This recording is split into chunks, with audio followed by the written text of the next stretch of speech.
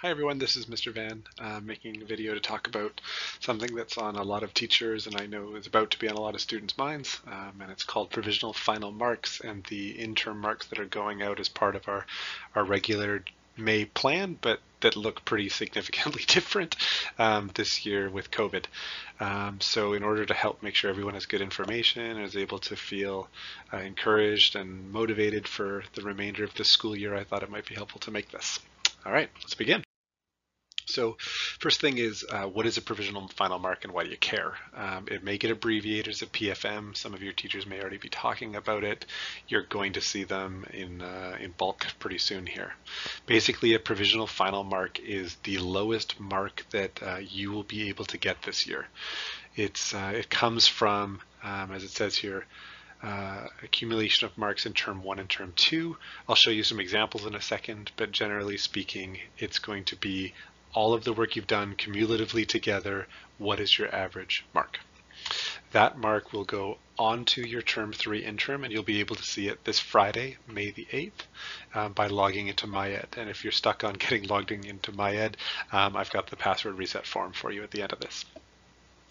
Again, it represents the lowest mark you can have. So this answers the question of the baseline many students are asking about. Yes, whatever you see as the final mark on your interim report card is the lowest it can be this year. Your term three mark can certainly shoot it up. And I'm going to talk about reasons why you might want to make sure it does. But uh, this will represent the baseline or lowest it can be. Um, Okay, also coming out this Friday is going to be term three interims. So um, teachers may give a mark for term three interims. They may also leave it blank. You will see a comment and comments are going to be really helpful for students. They're going to explain how teachers got to that. And I would certainly encourage you to check with teachers. And if you can't connect with a teacher, let me know and I'll help with that to find out how any of your PFMs were calculated if you're unsure. Um, the term three interim will be separate in a different column than the PFM. So again, I'll show this uh, right now.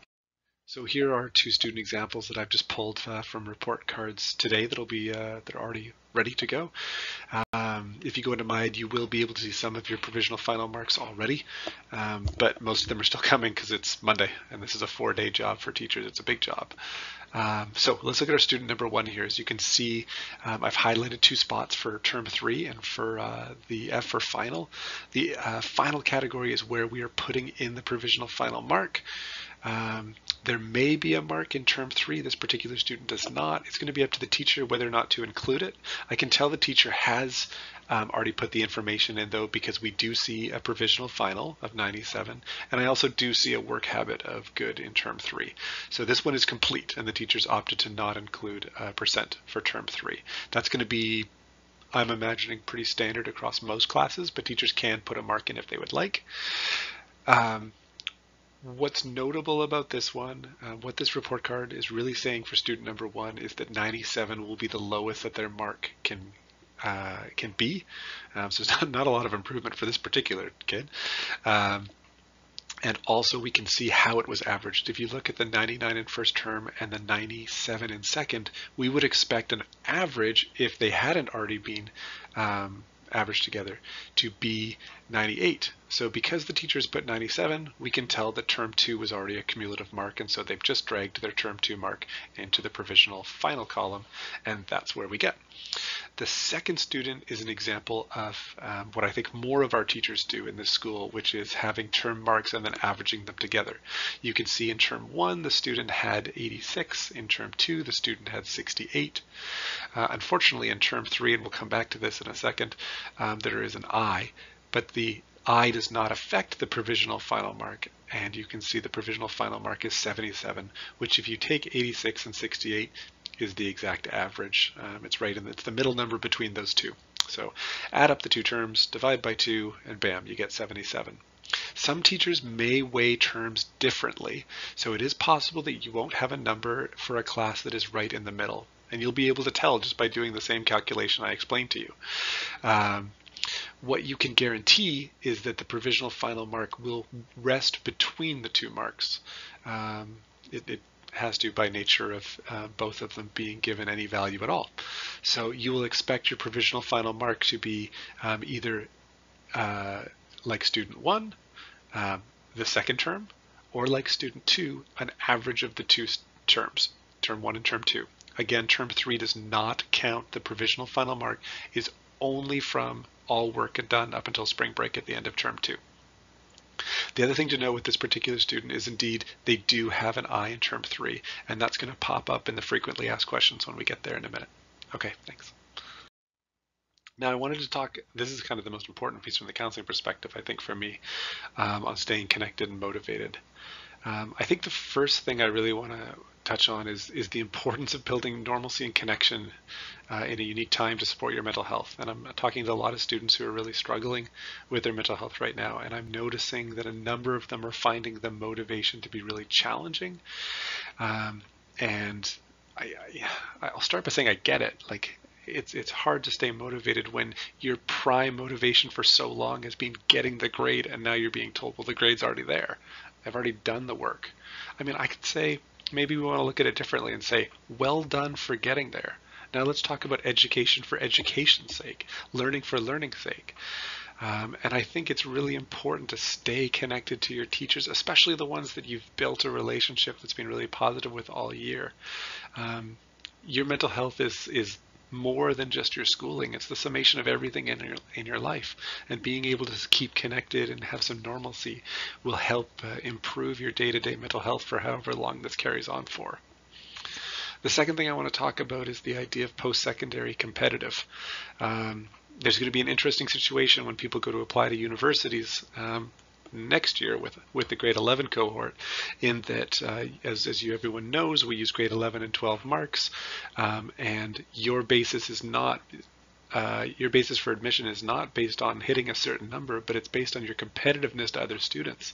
So if you are that student who had um, an I in term three, uh, you've got a lot to play for there. Getting that mark up could really help boost your chances of having a great grade 11 mark to show those post secondaries. You know what? You might have a mark that's good enough, but next year might be more competitive when a whole bunch of other people went and raised their marks. We're going to see a high average for grade 11 marks next year when grade when the current grade 11s are applying for post secondary. So to stay competitive, you need to be thinking about raising your own marks as well.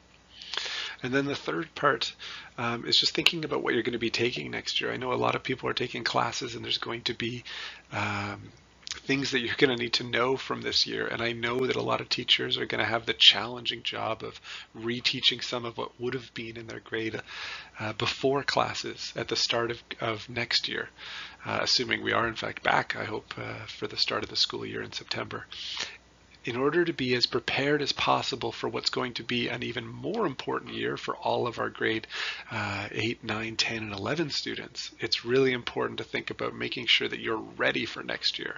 And I think about this not necessarily just in terms of having a good mark, but understanding concepts.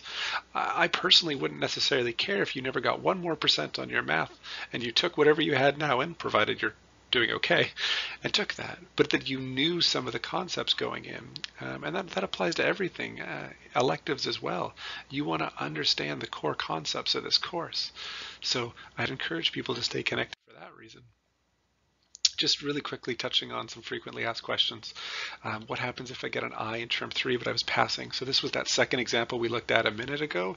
You would be fine. You will pass the course. Um, you if you don't remedy that, you won't be able to do better and you'll lose some of your competitiveness, but you will still pass the course. An I in term three is something to deal with, but it's not something that will actually stop you from passing the course, regardless of how you deal with it. It's, I think it's important to be honest about that. Um, and some tips for staying motivated. Um, I've been talking to a lot of students, and uh, thank you to the ones who've already got back to me and talked about how things have been working or not working. Um, but some things we're noticing already is that schedules have been really helpful, being realistic about your time and how much you're on the screen. Using this as an opportunity to push yourself and to really engage in subjects that and, and with teachers that you really have a passion and shared interest with. Um, it truly, like I said before, is, is learning for learning's sake in many ways.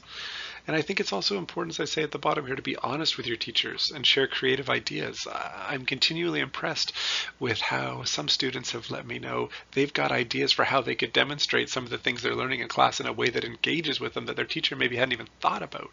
Share that with them. Um, I think teachers are being, you know, we're naturally open-minded anyways, and I think we're increasingly open-minded now. So I'd encourage you to really be creative about how you could maybe engage in the material, even if the teacher hasn't thought about it yet. Remember, they're making all of this up on the fly. They're not used to teaching like this, so there's a great opportunity here, I would say.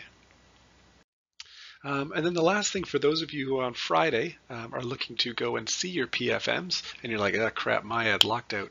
If you go to mrvan.org and under the VanTech specific tab, you can go and you can find the password reset and that'll bring you to the page that you can either reset your Teams account uh, or you can reset your MyEd. And it goes directly to our two vice principals, uh, Ms. R and Ms. Calder, and they will fix it for you. Okay, please make sure to uh, let me know if you have any uh, questions or comments, any follow-ups, and uh, sending sending our best from the counseling department.